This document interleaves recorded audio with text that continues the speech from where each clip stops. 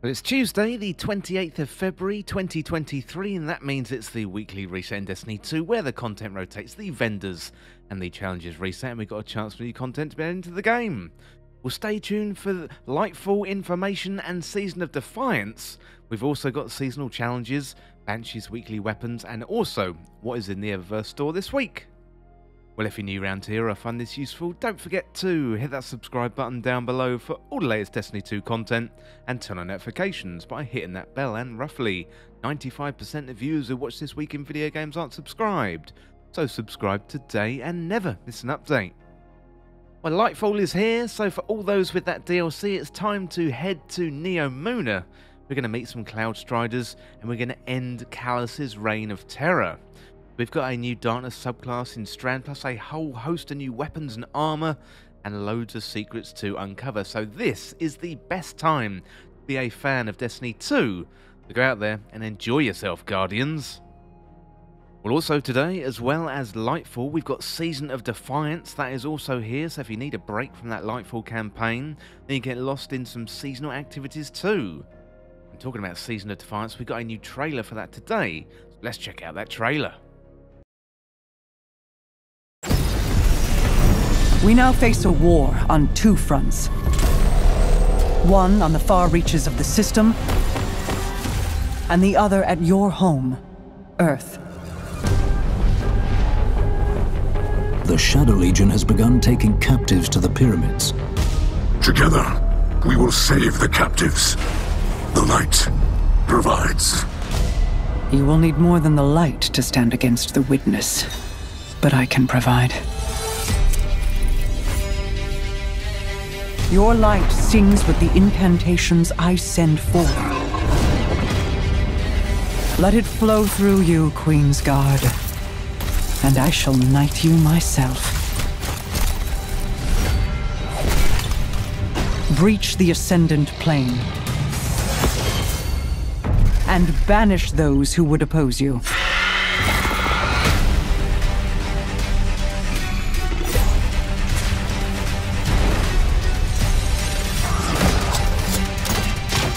Remember what they took from us. Don't let anything stand in your way. I am ready to cut them down. I remember where I came from and who I'm fighting for.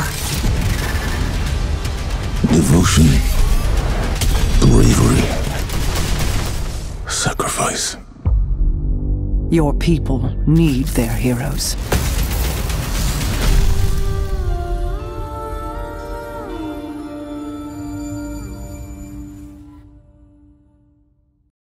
Well, that was an absolutely fantastic trailer there, so I hope you enjoyed that. Let me know how you're getting on with that Lightfall campaign, and also what do you think of Season of Defiance so far.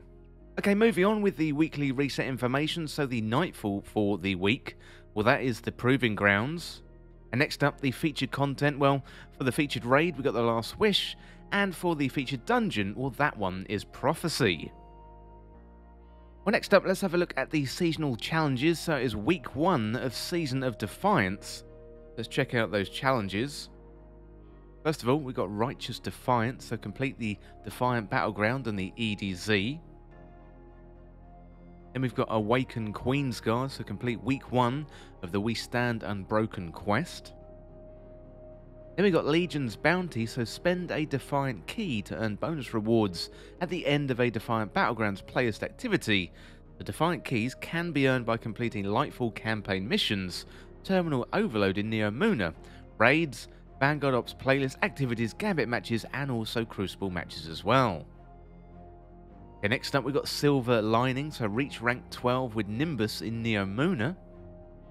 And then we've got key card operated, so use keys to unlock terminal overload key chest in Neomuna. After completing the quest Stargazer, terminal overload keys can be earned in Neomuna by completing public events, looting chests, and also completing patrols. Next up, we've got Neptune activities, so in Neomuna, complete bounties, patrols, public events, and lost sectors. And then we got Taking All Challenges, the complete weekly playlist challenges. Next up, we got Spark Defender, so score points in Rift, and bonus progress is awarded for igniting the Rift.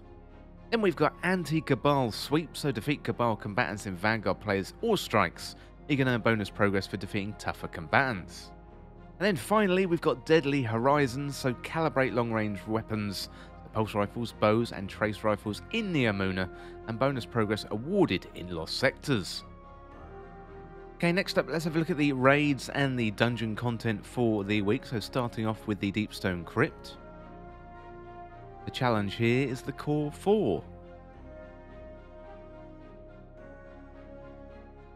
Next up on Savathun's Throne World, let's go over to the Vow of the Disciple.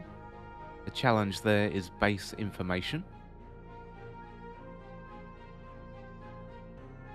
Next up, heading on over to the moon, we've got the Garden of Salvation. Challenge here is a link to the chain.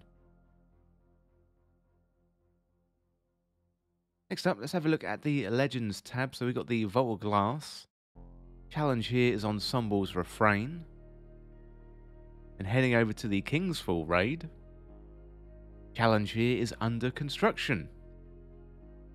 Well, finally, then, for the focused raid, and or the featured raid for the week, I should say, it's the Last Wish raid. You can see that with all the challenges available. If you want to check out the featured dungeon, well, that one is going to be Prophecy, and that one you'll be able to get some pinnacle gear. Well, next up, let's have a look at the Vanguard playlist. And first of all, we've got the Nightfall. So the Nightfall this week is going to be Proving Grounds. And it probably is worth noting that the difficulty level has been raised in Destiny 2. That is going to be really interesting. So if you get to do a Nightfall this week, do let me know down in the comments. Let me know what you think of it. Grandmaster Nightfalls are not available just yet. They are coming back on April the 11th. And also, you've got the regular Vanguard Ops playlist as well. Worth shouting out that the Lake of Shadows and the Arms Dealer, those strikes have been redone, so that is something really, really to look forward to when it comes to Vanguard Ops. Next up, let's check out the Crucible playlist. So we have the competitive division. You could jump in there and get that random rolled version of Rose. You will need to complete your placement series matches. That is reset after last season. In terms of the rotating playlist for the week, well, that is Rift. That is your Crucible roundup for the week. Next up, heading to Gambit. Got regular Gambit, you got freelance Gambit.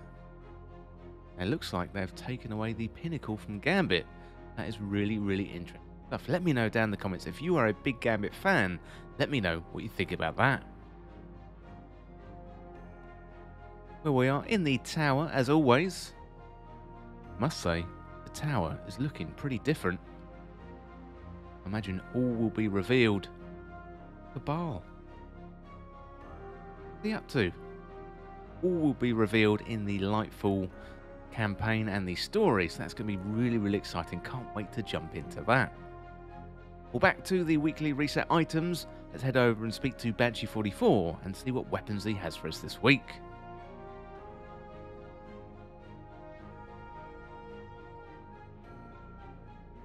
Okay, looks like we've got a slightly new menu here with Banshee 44.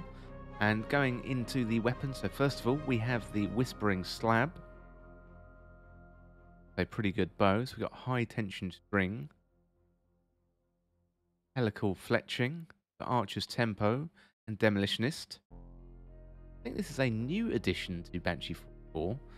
That is an interesting move there. Next up, we got the Judgment of Kelgorath. That was a glaive available from last season, so that is really, really interesting too. Super cooled accelerator, extended mag, demolitionist, wellspring, and also we've got the origin traits as well. So ambush, Hakke breach armament. So if you missed out on a judgment at Kelgorath last season, well, you can get it now from Banshee 44. Next up, we got Peace of Mind. But once again, this was available in the Witch Queen now it's available as a world drop weapon, I would assume.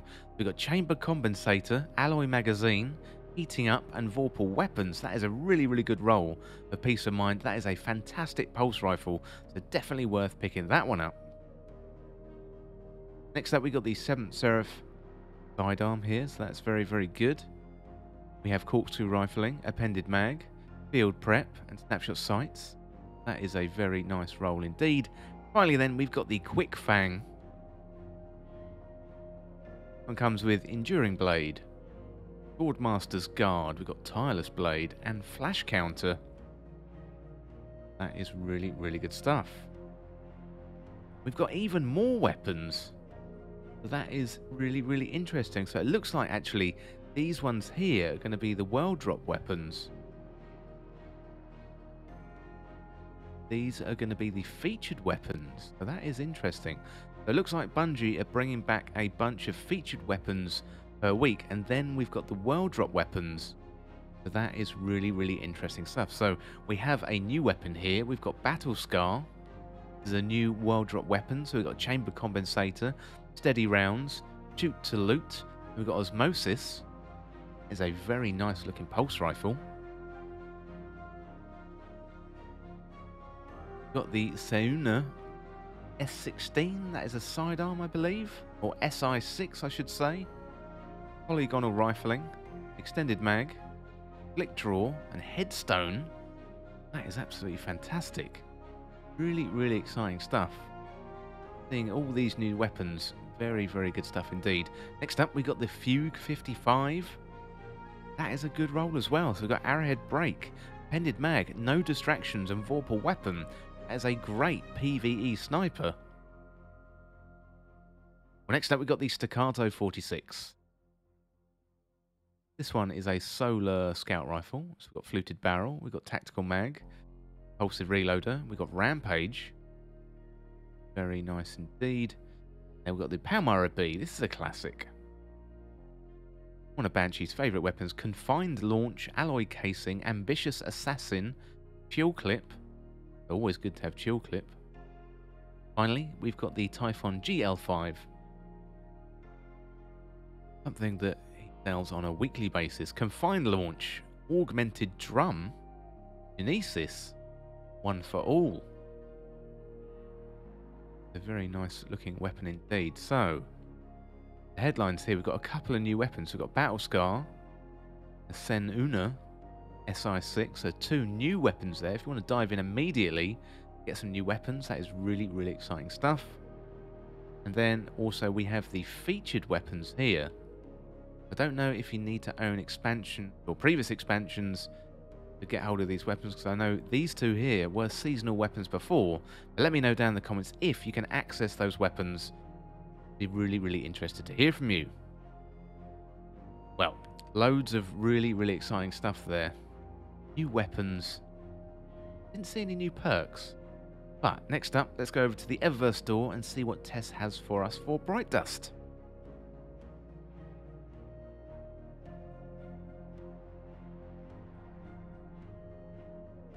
Okay, first of all, we've got Bruised Blush. As a shader, of course, we've got Butterbark. Out Out. The DMG. Good looking one. One we've got Chrysalis Entrance.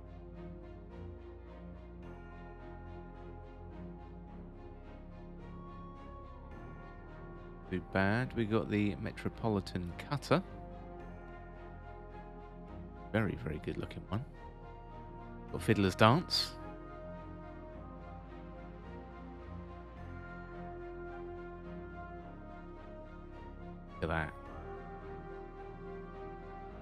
And a nice little jig. Before we go there, let's have a look at this. Got the Limitless Subversion set. The set for the Hunter. Know down in the comments what you think about that. That one is available for silver only by the looks of things. That might be made available later on in the season for Bright Dust. That is silver only at the minute. Have a look at the rest of the Bright Dust items and see if we've got anything new. So we've got the Tetrahedron projection. Looking pretty cool. We've got the Standard Bearer. That is for Surus Regime. Also looking very, very nice. Very clean. We've got the Eerie Breeze, and that is for the Gwisin Vest. That is an ornament. There's probably an ornament here for every class, Hunters being the Gwisin Vest. And I must say, it looks pretty good. We got Archangel's Might. You nice that one. Very Rasputin theme. Rip Rasputin, of course. We got August Corsa. Very nice indeed. We've got Sleek Dance. and we've got Victory Dance. Oh, yes. Ace Ventura? Ace Ventura or Dumb and Dumber? I think it's Ace Ventura. You can correct me down there in the comments. Next up, we've got a Vex Incursion entrance. Then we've got Dreaming Shimmer.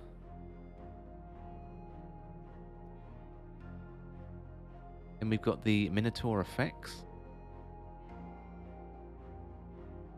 We've got the Aposematism. Yes, look at that. Very, very orange. We've got Coppertone Patina. Was a nice phrase to say. About that one. Look very good with my ornaments there. Got Reef Maid. Might be quite good for this season with the focus on the Queen. Then we've got Deep Sea Jaunt. Well, that is going to be it for the weekly reset information on February the 28th, 2023. So, loads to dive into today. Lightfall is finally here.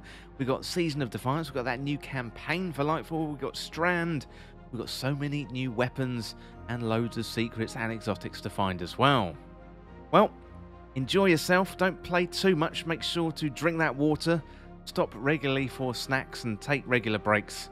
But Guardians, enjoy yourself. As I mentioned before earlier in the video, this is the best time to be a fan of Destiny 2, to go out there and have some fun. If you're new around here or find this useful, don't forget to hit that subscribe button down below for all the latest Destiny 2 content and turn on notifications by hitting that bell. Or have fun this week in Destiny 2. I will be back later on this week with loads of videos. Well, don't forget to subscribe, and I'll see you real soon.